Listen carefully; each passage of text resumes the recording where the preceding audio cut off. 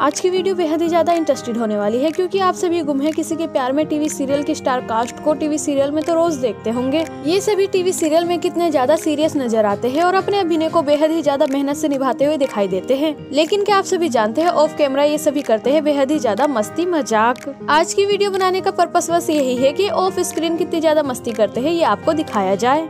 आप सभी Ayesha Singh nail Bhatt and Aishwarya Sharma को देख रहे होंगे सई विराट एंड पाखी का किरदार निभाते हुए। और अब तो सीरियल बेहद बेहद ही ज़्यादा इंटरेस्टेड हो चुका है क्योंकि सई अब विराट के लिए पॉजिटिव नज़र आ रही है अब सई को बुरा लगता है जब विराट पाखी से बात करते हैं या फिर पाखी विराट से बात करती है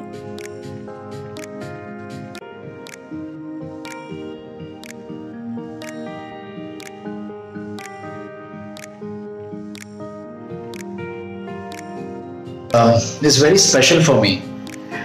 It is a thank you post. Honestly, I just got to know that I I touched 100,000 followers on Instagram.